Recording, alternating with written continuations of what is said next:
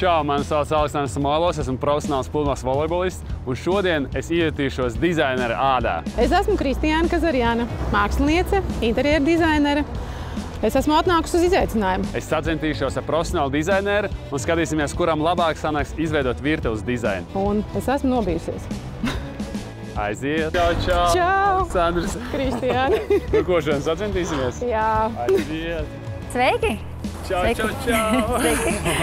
Esiet laipni aicināti Deko centras kvartālā. Un šīs dienas uzdevums jums būs iekārtot virtuves zonu ar ēdamu zonu.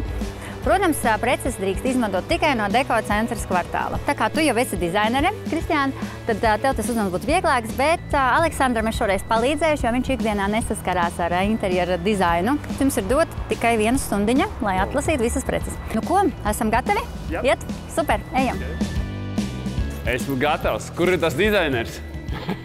Tad ejam tad izvēlēties materiālus. Tas ir skapīšiem. Jā, jā, jā, fasādītēm. Šeit varam arī fasādi ir koka. Šāda veida, vai gribās kaut ko gaišāku, tumšāku? Šis koks man nepatīk. Man vairāk patīk varbūt kaut kāds tāds koks.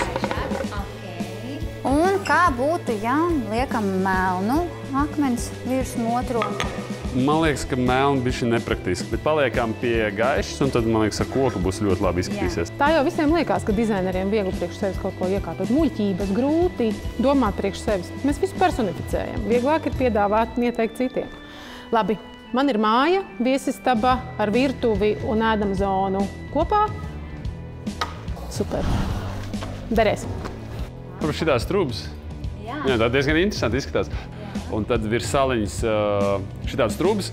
Un tad arī varētu vēl, es gribētu arī uz sienas kaut kādu siena lampu uzlikt un gleznu varbūt kaut kādu. Un tad varētu arī pieskaņot pie tām trūkām arī varbūt kaut ko tādu. Labi, tad aizējām paskatīties sienas lampas, kas mums šeit ir. Es domāju, ka šī ir pieskaņota vai, vai šī. Īstenībā šī baigi labi. Pēc grīdas nākamais svarīgākais noteikti būs virtuves fasādes un virsmas materiāls. Es izvēlēšos noteikti gaišu. Mani bērni ir izauguši lieli, līdz ar to man ierobežojumu nav. Vēlos matētu ar marmora struktūru un droši vien bez ar slēptu furnitūru. Un mums uzdevums ir tagad uh, paskatīties virtuvei sienas paneli no flīzēm un, protams, arī varam grīdu. Jā, jā kā mēs jau runājam, tos viens akcentu tādu uzlikt. Jā. Tā, un tam flīzēm es domāju, ka vajag noteikti kaut ko matēt. Lai nav glancēts, un tad uh, tas krāsa varētu būt nu, tā, ka pieskaņot mūsu virtuvē, tad mums tāds bronzas, pelēks, kaut kas bēšīgs, nu, bēšīgi pat mazāk mums man liekas tāds.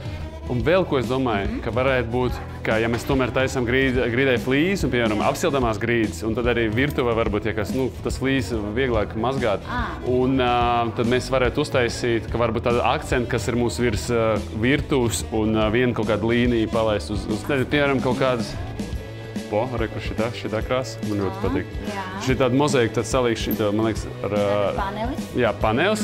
Un, piemēram, ja mēs tādu, tādu grīdu mēs uztaisām, uztaisām, šī ir viena, viena kolekcija, cik sapratu, jā? Un, tad, un šī dod tā kā akcentu uzlika. Nu, tad mums arī ir skaidrs ar flīzēm. Super! Es nolēmu izvēlēties savai virtuvei metāla furnitūru. Manuprāt, šis krāsas pat ir ļoti glīts. Samts arī šobrīd aktuāls un viegli kopjams. Šis un pie ēdama galda šis. Tonāli, man liekas, būs ļoti brīnišķīgi.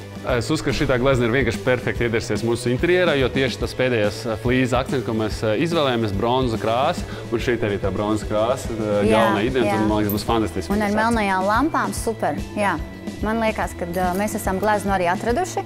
Nu, tad dodamies uh, meklēt krēslus, parastos un bāra. Es gribu paklāju. Tās ir muļķības, ka ēdama zonā neliek paklājus. Es likšu, man ir liela ēdama telpa, tur ir daudz vietas. Toņi noteikti būs šie. Šie abi ļoti skaisti. Es ņemšu šo. Tam krāsas atbilst manam interjeram, un arī zelta tonis iekšā kā manām krēslu kājām. Bet vienīgais, ko es domāju, šeit ir tāda āda. Varbūt mēs varētu tā kā materiāli, re, kur tur tie krēsli ir, viņi ir šeit ir materiāli. Šo mīkstāku. Mhm. Uh, vai gārt? Ā, viņš vēl griežās. Super. Viss, ņemam. Ideāli. Mums krēsli ir atrasti.